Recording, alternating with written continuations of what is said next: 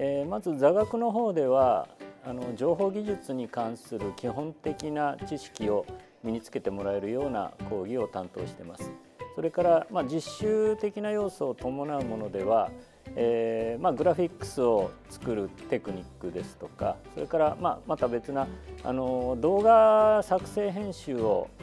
テーマにしている講義では、まあ、絵コンテストーリー作りから始めてグループで撮影そしてまあ編集をパソコン上で行って、えー、この授業用のサーバーにアップロードしてお互いに動画を見れるようにするところまであの一連の作業を勉強してもらうといったことも担当しています。それから、まあ、あの研究演習いわゆるゼミでは、え、プログラミングの、ま、勉強をしっかりしてもらうということで、まあ、卒論にもつながるものなんですけれども、えー、かなりプログラミングにも力を入れています。まあ、プログラミングにしろあるいはまそういった動画編集あるいはグラフィックスを作るといったことをいずれもまあものを作るということにつながるものなんですね。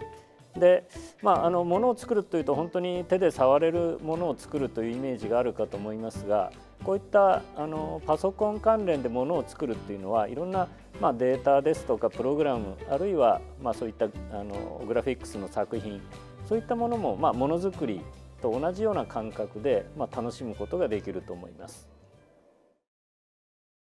これからまあ5年6年先皆さんが、えー、社会に出るといった時代にはおそらく、えー、今考えもしなかったような新しい技術が生活の中にどんどん入ってきてると思います。